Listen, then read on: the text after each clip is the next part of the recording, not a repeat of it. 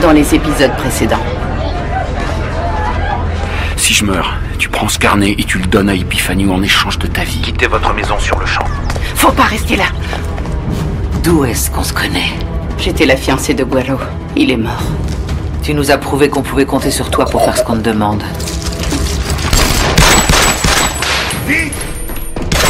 Je l'ai tué. Je suis pas comme ça. Et je veux pas devenir comme ça. Mais c'est quoi? J'y comprends rien. Faut qu'on déchiffre tout ça.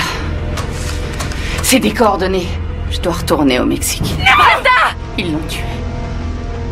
La seule chose que mon mari ne peut pas se permettre, c'est de faire la guerre.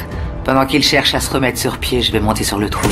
Je préférerais tout détruire que de perdre contre vous. Gualo, qui est cette femme?